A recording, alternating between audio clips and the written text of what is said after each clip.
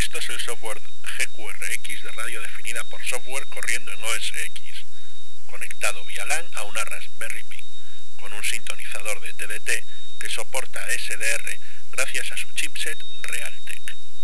Fin del comunicado.